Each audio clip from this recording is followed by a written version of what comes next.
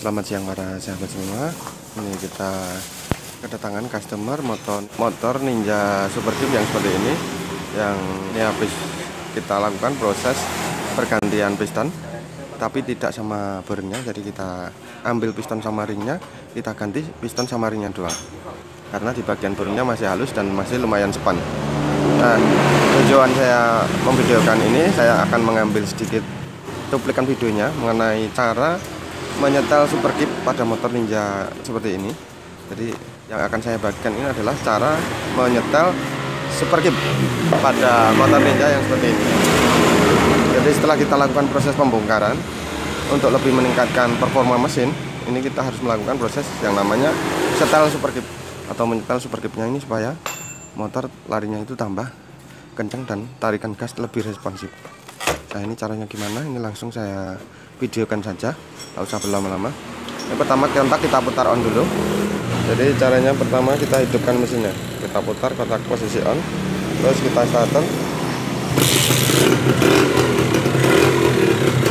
Setelah itu baru kita lakukan proses yang namanya setel super keep jadi posisi mesin hidup.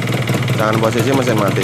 Ini kita kendorkan dulu jadi setelah mesin hidup seperti ini langsung kita kendorkan dulu umur yang 10an ini.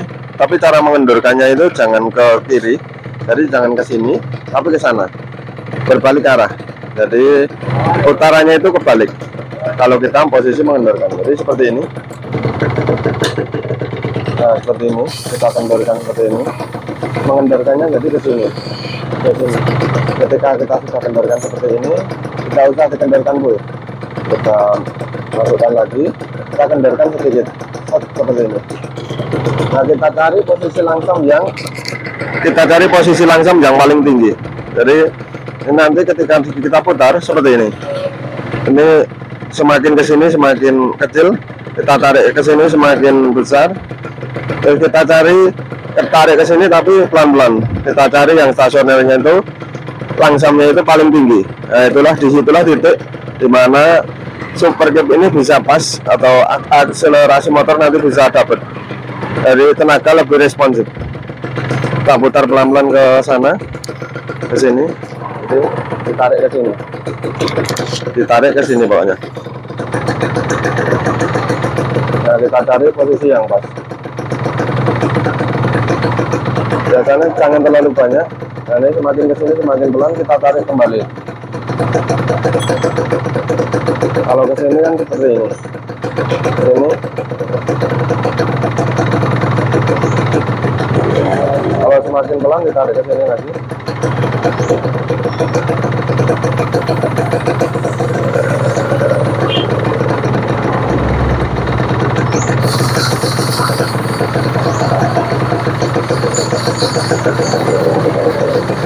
Nah seperti ini kita menariknya itu ditarik ke sana dulu.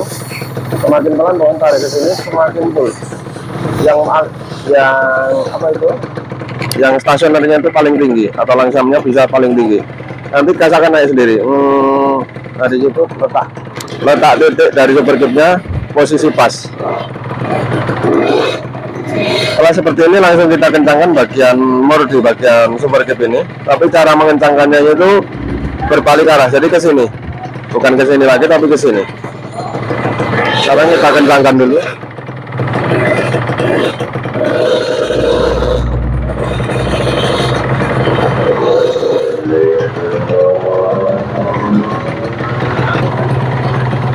Nah seperti ini jadi setelah kita posisikan pas kita kencangkan full. Baru kita kuper kita tarik gas kita coba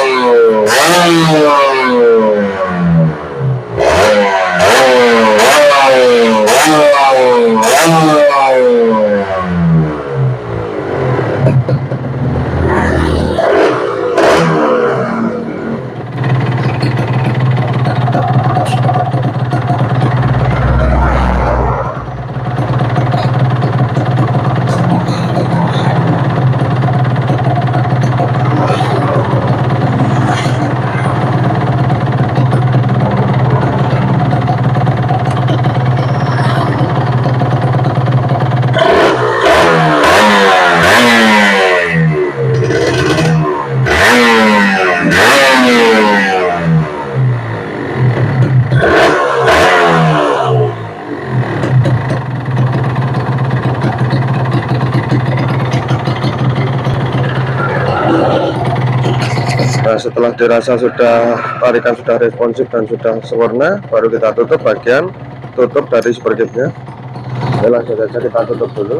Pakai kasus tariknya ini.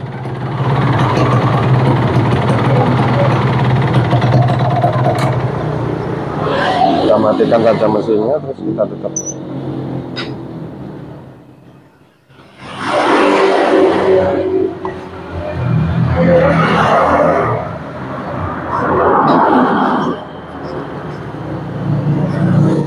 Nah itulah tadi pada sahabat semua mengenai proses dan cara menyetel superkip pada motor Ninja Ninja superkip yang seperti ini. Cara menyetel superkip pada Ninja R yang seperti ini. Jadi caranya seperti itu ketika habis kita turunkan mesin atau kita bongkar bagian boring itu kan kita harus melakukan yang, yang namanya setel superkip itu caranya seperti tadi yang saya videokan. Jadi dikendorin di bagian murnya ini dulu setelah dikendorin kendorin ke arah kanan itu baru dicetel setelah sudah sempurna seperti tadi baru kita kencangkan ke bagian atau kita putar murnya ke bagian kiri. Jadi derajatnya itu berbalik arah atau setelah jawanya itu walian atau ber, berbalik pokoknya. Nah, yang harusnya ke kanan itu biasanya untuk mengencangkan ini malah mengendorkan. Nah itu saja. Semoga ini bermanfaat dan kita berjumpa lagi di kesempatan video yang berikutnya. Bye bye